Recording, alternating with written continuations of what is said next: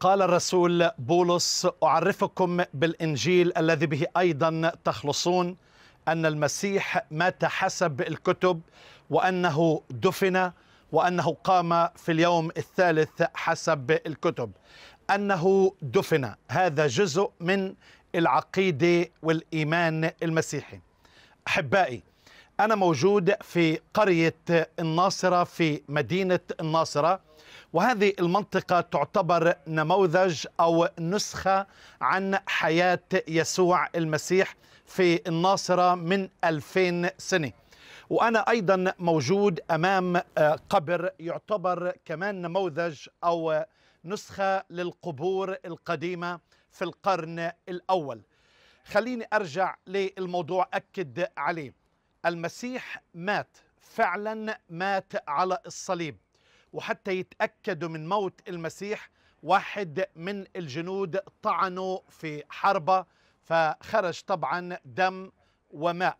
وهذا كان تأكيد لموت الرب يسوع المسيح. عادة في العادات الشرقية أنه الميت ينبغي أن يدفن في نفس اليوم. وطبعا في حالة يسوع المسيح كان لازم يسرعوا لأنه كان السبت العظيم قبل دخول السبت قبل دخول الفصح للاحتفال فكان لازم يسرعوا في دفن المسيح وهكذا طلب رؤساء طبعا إنه يفعل هكذا. لاحظوا معي أنهم كسروا ساقي اللصين عن يمين ويسار المسيح ولكن عندما جاءوا إلى يسوع المسيح وجدوه قد مات وطعنوه بالحربة لكي يؤكدوا على موته.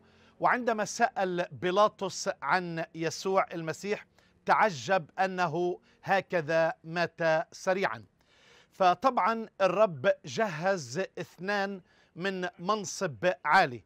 واحد اسمه يوسف الرامي والشخص الآخر نيقوديموس لإعداد القبر.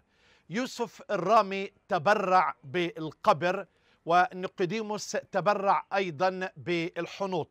نكتشف إنه يوسف الرامي كان مؤمن بالسر وأنه كان من مجمع السنهدريم ويقول الكتاب أنه لم يكن موافقا لرأيهم وعملهم.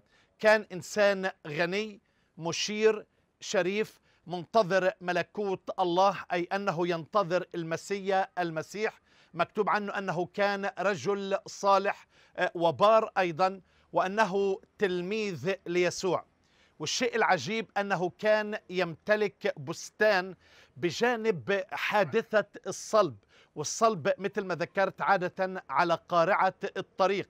الشيء الغريب إنه كان عنده بستان جميل وفي داخل البستان قبر جديد حفروا بنفسه. قبر جديد لم يدخله إنسان وطبعا محفور من الصخر.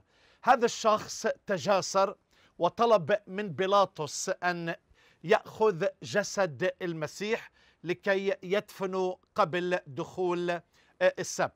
أما نيقوديموس فنقرأ عنه بإنجيل يوحنا أنه الشخص الذي جاء إلى يسوع ليلا وقال له يسوع الحق أقول لك إن لم تولد من فوق لا تقدر أن ترى ملكوت الله.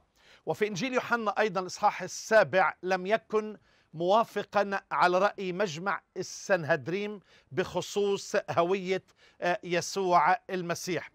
فطبعا هو يعرف عن يسوع لأن المسيح قبلا قال له وكما رفع موسى الحي في البرية هكذا ينبغي أن يرفع ابن الإنسان لكي لا يهلك كل من يؤمن به بل يكون له نور الحياة. هذا الشخص الذي كان يؤمن بالمسيح ليلا فالآن نراه مؤمن في إشراقة النور والنهار أيضا وأنه يجازف بحياته إذ يأخذ جسد يسوع مع يوسف الرامي حتى يدفن في القبر. القبر طبعا عادة إما بكون مغارة أو محفور في الصخر بينحني وبفوتوا لجوا في مكان اللي بيضعوا الجثة على مكان القبر.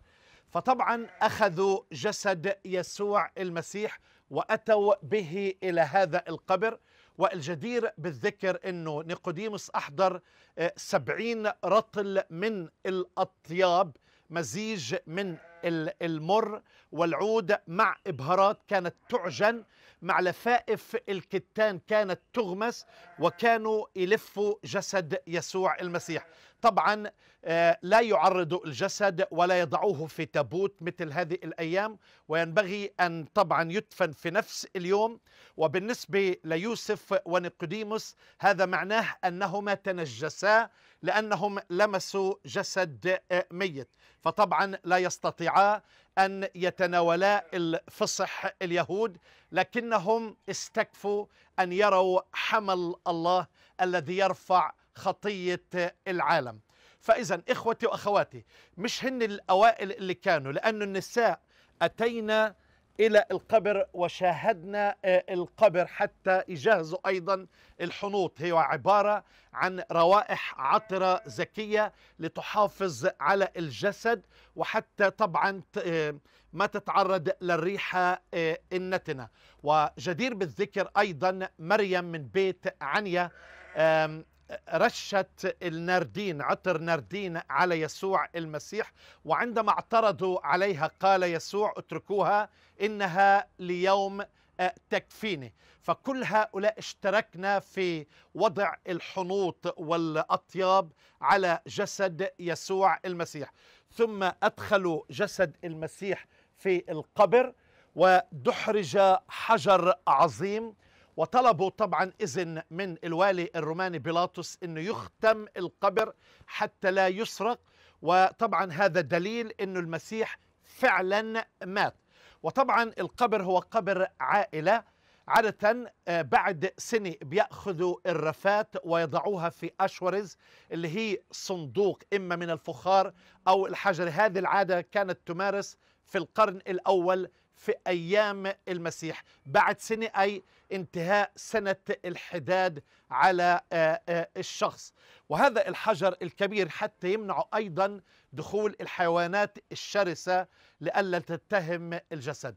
هذا كله أحبائي لتتميم النبوة التي قيلت في إشعياء آه، النبي أنه جعل قبره مع الأشرار. فعلا اتصلب مع الأشرار ولكن عند مع الغني عند موته إنه استعار قبر غني فقط لويكند يعني لنهاية الأسبوع لثلاثة أيام ثم قام من بين الأموات. فدفن يسوع المسيح حتما أنه مات وأنه في العقيدة المسيحية أن المسيح فعلا مات لخلاص البشر. من قرية الناصر أنا بحييكم أنه فعلا ندرس كلمة الله.